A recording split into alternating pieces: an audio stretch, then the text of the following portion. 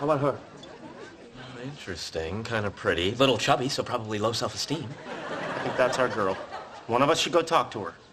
I can't talk to her. You do it. I can't just go up and talk to her. Howard, you talk to her?